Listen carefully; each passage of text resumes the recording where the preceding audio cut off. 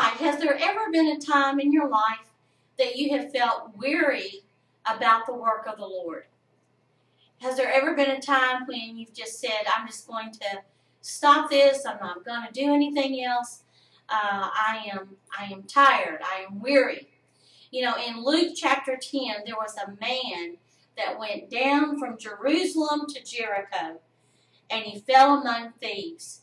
You know, if we ever sit down and just do nothing uh, for the Lord, then that is a time that the enemy can come in and rob us and strip us from our righteousness, which is in Christ Jesus, uh, our joy, our peace, our comfort uh, can leave us uh, and be taken from us if we go away from the body of Christ. You know, this message today is for those in particular that have sat down on the Lord and have said, I am tired, I'm not going to do anymore, let everybody else do uh, something now. Uh, just I've just been uh, too busy doing things. My name is Sherry White, and I'm coming to you from Fountain of Life Ministries International uh, in Athens, Georgia. And I thank you for viewing today. And I believe that that the Lord wants to pour on all of us fresh oil. You know, let's turn to uh, keep your finger in Luke chapter 10 because we're going to come back there because that's where our passage is today. But turn with me to Psalms 92, verse 10. You know, there were many times in the life of David, King David, that he was weary, that he was tired, that he felt like he was going to, to faint. But in Psalms 92, verse 10, it says, But my horn shalt thou exalt like the horn of a unicorn. I shall be anointed with fresh oil. Fresh oil. And that's what we're going to believe the Lord for as we talk about His goodness today and how He takes care of us. We're going to believe for that fresh oil to be poured upon us that we might go and do the things of God that we're supposed to be doing. You know, in verse 1 of 92, it says, It is a good thing to give thanks unto the Lord and to sing praises unto his name, O Most High. You know, if there's a time of, of weariness in our in our Christian walk, in our spiritual work for the Lord, then we need to give him thanks. We need to rise up and begin to give him thanks. And I'm going to come back to uh, Thanksgiving as we um, continue on with this, this message. You know, I believe that that the Lord is the Good Samaritan in this passage. Go back with me to Luke chapter 10. And let's just read a little bit here. But but first I want to tell you a vision that I had this afternoon. I saw people as they were journeying down this road, and all of a sudden, they just fell out. They just fell on the ground. A lot of them had big backpacks on their back, and, and they were just falling out uh, because they were so tired. They were uh, weary of their journey. Uh, they were walking down this road and they just began to, to fall. And there were others in the body of Christ that came along and picked them up and put their arms around them and around their waist, and they walked on from there. Let's read. A certain man, in verse 30 of Luke chapter 10. A certain man went down from Jerusalem to Jericho and fell among the thieves. Now, in the in the New Testament especially, Jerusalem is a symbol and a type of the church of the living God. He was going down from the church to Jerusalem, I mean to Jericho, and he fell among the thieves, which stripped him of his raiment, and our raiment is the righteousness of God through Christ Jesus, and wounded him. How many of you have been wounded by the body of Christ? There have been many that have been wounded and and and stomped upon by other members of the body of Christ. Now, this should not be. However, there are times when this occurs. Wounded him and departed, leaving him half dead. Now, here was the thieves. And by chance there came down a certain priest that way, and when he saw him, he passed by on the other side. Now, the, the priest and the Levi were is a symbol and type of the religious mindset. Oh no, we're not going to touch that. No, these people cannot come into our services because they do not look like us, they do not smell like us, uh, they are not clothed like us, and so therefore we're going to ask them to uh, to leave our service. You know, when we had the our mission, the mission open in downtown Athens, we had that for eight years, and we ministered to the street people, the alcoholics, the drug addicts, the the prostitutes, the pimps. Uh, we ministered to those individuals, and there was a young man that came to me uh, one day during one of our services, and he said, you know, he said, I'm glad to be here. And I said, well, we're glad to have you. And then he, he said to me, you know, he pointed to a, a, church building down the street and he said, You know, I went into that place right there and I sat on the back row and I didn't say anything. I just wanted to see what their, their service was like. And he said, All of a sudden I felt this hand upon my arm and I looked up and it was one of the one of the ushers and they took this young man and the usher said, uh, I'm sorry, we don't have your kind in our services and took him outside on the front steps. You know, this is this is not correct behavior for the body of Christ. And you know that that is not for me to, to judge, but I do know that God loves that young man that went into that congregation. And we we loved what we did. And God taught us many things uh, through that experience with the mission. And one of the things that he taught us was to love others as Christ has, has loved us with unconditional love. You know, this is this is something that, you know, the priest and the Levi had that that mindset, that religious mindset, and God is bringing that mindset down. And he's causing the body of Christ to rise up and to take its rightful place uh, by him. Can you say amen? And likewise the Levi, when he was at the place, came and looked on him and passed on by the other side. But in 33, but a certain Samaritan, a certain Jesus Christ, hallelujah, the Son of God, as he journeyed, he came where he was, and when he saw him, he had compassion. He was moved with compassion for him, and he went to him and he bound up his wounds, pouring in what? The oil and the wine. Now, this is what I saw on the road as I in my vision. I saw these individuals that were falling out, and then I saw others coming behind them, picking them up, and even taking their their backpacks from them and carrying their backpacks. You know, it says that we're to bear one another's burdens.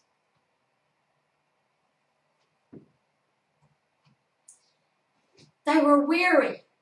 These people in my vision were weary.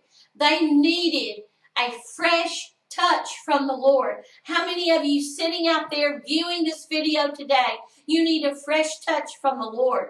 You know, I believe the Lord is touching you even as I speak right now in the name of Jesus with a freshness, with a just a refreshing from the Holy Spirit come down upon you in the name of Jesus. You know, it says in Second Thessalonians 3.13, we'll not turn there, but it says, be not weary in well doing.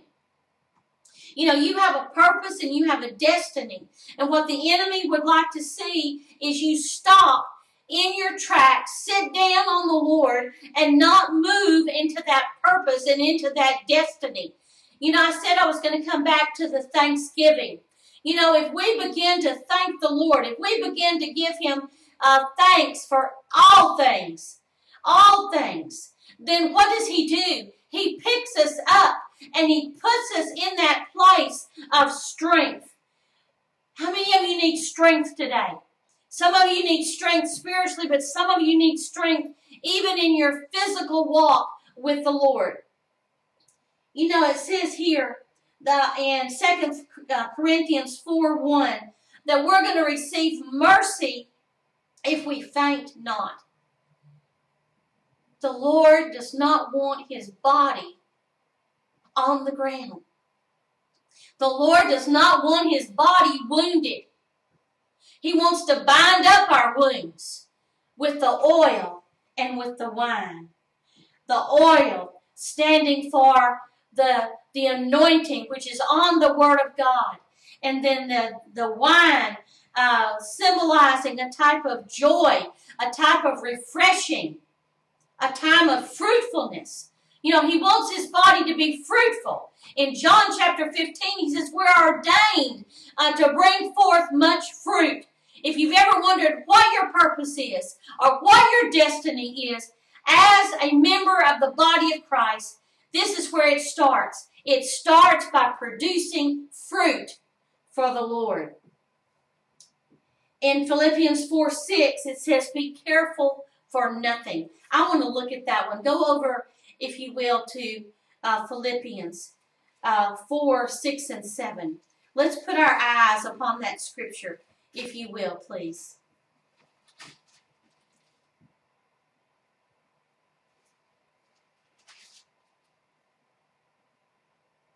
It says here, I'm going to start with verse 4. Rejoice in the Lord always, and again I say rejoice. Let your moderation be known unto all men. The Lord is at hand. Be careful for nothing, but in everything by prayer and supplication with thanksgiving. Let your request be made known unto God. In verse 7. And then something happens. When we do this, then something else happens. It says, And the peace of God, which passes all understanding, shall keep your hearts and your minds through Christ Jesus.